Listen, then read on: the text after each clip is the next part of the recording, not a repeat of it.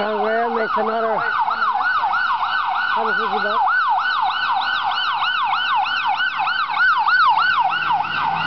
Another 150 bucks.